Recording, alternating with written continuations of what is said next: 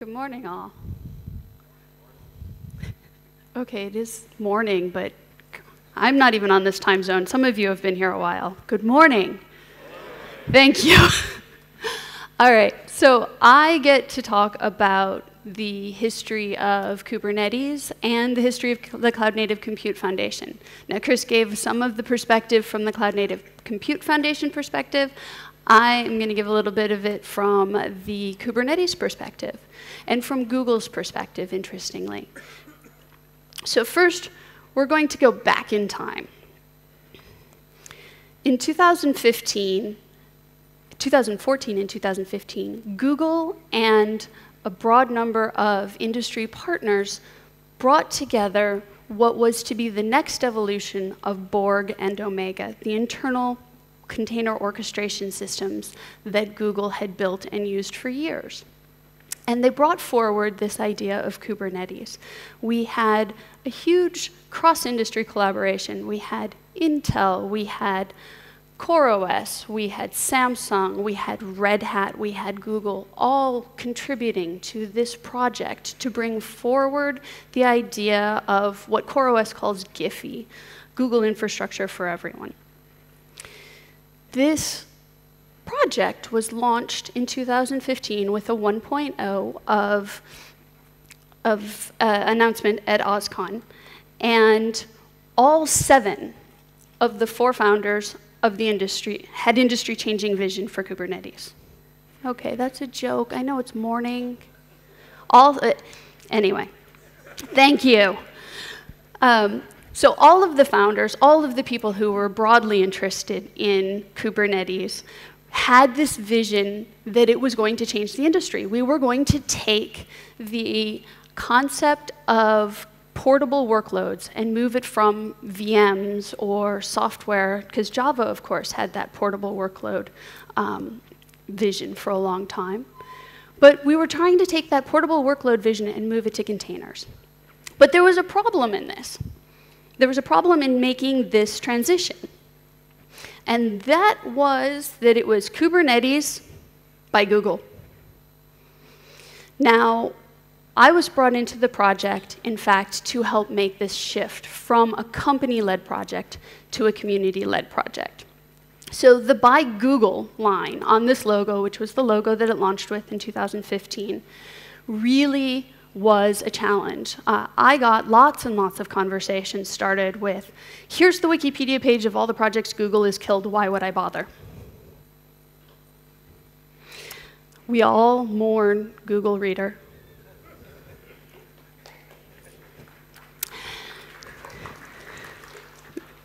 That said, bringing together a broad industry group to change the conversation about cloud computing, to move the concepts from talking about VMs or talking about uh, sticky services in clouds to having a portable workload load unit of containers was really going to be a thing that took corporate independence for the open source project. And the Linux Foundation is known for bringing together all of these groups, all of these companies to move, to move forward the actual industry changing big picture visions.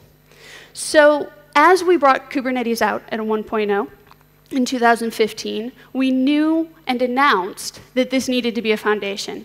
As Chris mentioned, it wasn't uh, really started until December or so of 2015, but with the announcement of 1.0 came the intent that Google was going to donate all of the IP, all of the trademark, and all of the uh, content around Kubernetes to, the uh, to a foundation, which then became the Cloud Native Compute Foundation.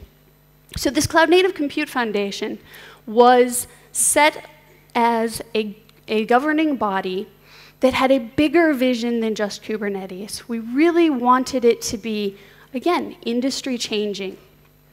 So we set a three model government. Yes, many of us are from the US, and for all of the joys and flaws of our government, the three models are actually pretty good. So we have a governing board a technical oversight board, and an end user board, offering checks and balances to one another.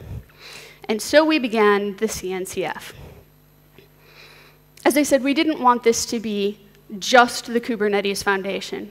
We thought that that would be very narrow and very limiting, and that we really wanted to have this broader conversation.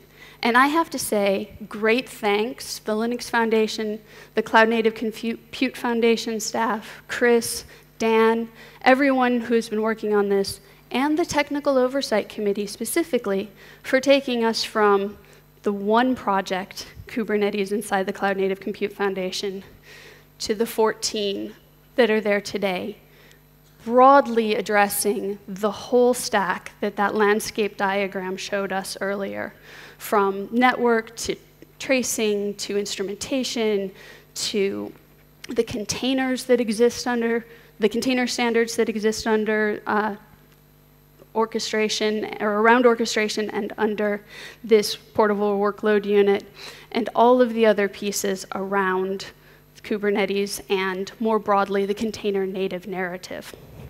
But I'm really here to talk more specifically about Kubernetes because taking Kubernetes from a company led project to a community led project has brought us a lot of interesting points to think about and work through. So this has been a two year journey that I'm going to summarize in another 13 minutes. Forgive me if I gloss over some of the finer points. One of the things we learned was self organization works really well in small groups. Kubernetes has enjoyed huge growth in the last two years, and what worked early on doesn't now. At this point, Kubernetes, as the size of the project, dwarfs all the other projects inside the Cloud Native Compute Foundation as a single project. But one of the tenets of the Cloud Native Compute Foundation is that each project is self governing. And so, what we are learning inside Kubernetes may or may not be adopted by other projects, but they will adopt it as they need it. So self-organization doesn't work very well for small or for large groups. Early on, we used hand raisers, people who volunteered to lead different special interest groups, to do a lot of the work that ne was needed in order to bring the project together. And those hand raisers in small groups have a lot of trust. You have a small group, you know each other, even if you don't know this person exactly, someone else that you know knows that person. And so you have commutative trust in a small group in a way you just can't in a large group. So these hand raisers generally had the skills that they needed. If they didn't, they were supported by people around them. But as the project grew, the hand raising got more complicated because there was status attached to different roles. There was status attached to being part of the Kubernetes project, and it became more politicized. So, different cultural standards that we had, including chopping wood and carrying water, making sure that everyone was working on the core and the important pieces, the boring pieces, I would argue, of the work that needs to be done. Those cultural norms got lost. And that made for some challenges in the last couple of years. It's one of those things that we saw and have seen happen in other projects where the core doesn't get the attention that it needs because the edges are more interesting to, say, a vendor community, or the edges are more interesting to a politicized community. So, this chopping wood and carrying water as a cultural value for Kubernetes needs to be better communicated and needs to continue to be uh, rewarded. One of the other things that we found was implicit government generates mistrust. So it's really simple if you say, this is the deciding person. Linux is great. Linux has Linus, and whenever there might actually be a huge dispute or a small dispute, but with people who can't uh, come together and come to a solution. As the last resort, Linus can decide. That didn't work for Kubernetes. It sort of worked for a while. We didn't want it to be a benevolent dictatorship, but it was sort of a corporate dictatorship for a while. But then we said, no, we really want it not to be Google led, we want this to be community led. But then it sort of was like, well, who can really make decisions? And so it started to look like this weird, shadowy cabal. Those seven of the four founders, maybe one of them could make a decision, but if they disagreed, who would actually decide in the end? And we found that this really led to lots and lots of confusion for our end users, or our end contributors, I'm sorry. Someone would ask, how do we make this decision? The answer was, oh, I don't know, maybe you should talk to Brian. Well, maybe Tim will have an opinion. Or you'd get, you know, 100 comments into a proposal on GitHub, and someone would go, oh, you know who should weigh in on this? Just as you thought you were getting to a resolution. So this implicit governance really led to a lot of mistrust and led to a lot of um, churn and uh, discomfort. So while we were working and we were moving the project forward, even at a crazy the crazy velocity that it was moving, there was a lot of wasted cycles in this discomfort. And so we have spent a lot of this last two years trying to solve this. Another thing we learned is people are messy. So I would argue that, let's see, there are, what is the running joke? Three different hard problems in technology naming things off by one errors, maybe it's only two. I'm going to postulate that the other one is people, because most of your challenges in a tech organization don't ultimately come down to the tech, they come down to the people involved with them. So we've built this massive platform to enable distributed compute workloads. And so we tried very hard in order to build this and not fall victim to Conway's law to make a distributed, distributed decision-making system inside Kubernetes. We built out special interest groups, we built out autonomous working groups, we built out groups that then should have the, the permission and the accountability to make decisions on their own about their area of code and then work with other area owners and make decisions that are correct for the project at a technical level. The problem is people. Someone wanted a less, uh, not someone, some several ones wanted more direct authority. They wanted to know that they were supported in this as opposed to organically growing these special interest groups who had leaders and should be making decisions independently. But there was some level of need for um, blessing from a broader project group. And so even when someone was a special interest group lead, there wasn't necessarily clear trust from some of the people who were in the special interest group that that person would have the right skills, and comfort from the person who was leading about making the decision, be it driven collaboratively or not.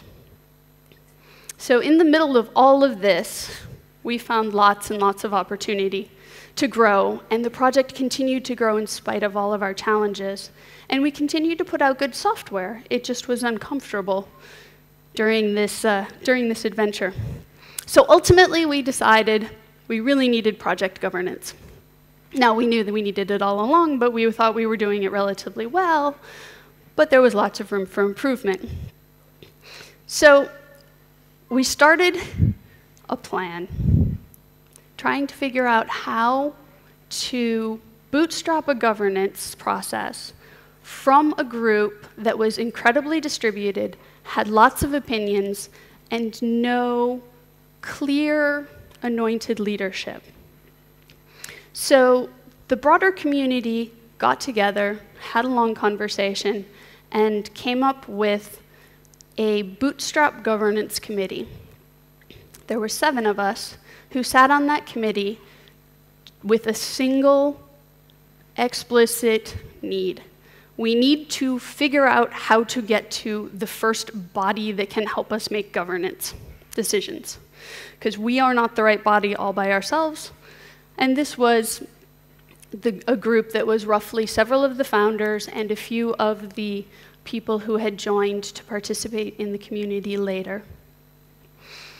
So this group wrote a steering committee charter and built out a model for the first election and a transition model for the, the governance. So this bootstrap steering committee worked with the broader Kubernetes community to elect additional members and have a large group for the first two years because we expect this to be a lot of work building out the rest of the governance for this project. So we will have 13 people on this group for the next two years, and then it will drop back to Kubernetes' favorite number of seven. So in this steering committee charter, one of the things that was explicitly called out was we are going to screw this up. We actually, in Kubernetes, spend a lot of time on retrospectives, focusing on what we've done, what we've done right, what we've done wrong, and how we can learn from it. And that, I think, as a cultural underpinning, is a huge and important point. Another thing that we spend a lot of time on and a lot of effort on is trying to bring together and grow that community, bring together and teach and share our experiences in order to make sure that we are growing the next generation of leadership. That is actually part of how this steering committee has been formed. The long-standing founders of the project, long-standing contributors as part of the Bootstrap Steering Committee, ended up, or the Bootstrap Governance Committee, ended up sitting and participating in the first two years of the steering committee in order to bring another six people together to think about things in a very similar way. So, this transition of knowledge, this transition of culture is huge. We continue to see Kubernetes grow madly. I love this graph because it actually shows two things that I think are hysterical around this, one of which is, yay, launch, big spike there, but also that we as a group tend to take the end of the year off. um, so we continue to see huge growth and investment in Kubernetes. As Chris showed in, our, in the slides about the CNCF, there are more than 140 members now looking at this broader cloud native compute vision. Kubernetes is simply a piece of this, and we really, really hope that our vision of a learning organization, a growing organization, and an organization that allows for high trust at edges and intersections of both our independent group, uh, group software, group um, areas of focus, as well as the edges of the Kubernetes ecosystem, are a great way for us to continue to build a composable internet and also to change the model of cloud computing, the model of computing, so that it is more of a container orchestrated workload as opposed to focusing on VMs or other hardware, hardware-based systems. But this container orchestration allows us to work across multiple clouds, across hybrid clouds, and also to bring this workload system across all of our industries. So functionally, we see our future as very bright, and that this Kubernetes governance, looking at the high trust, building a community that works well together, and making sure that the governance that we have uh, is right for our communities is super important. Thank you.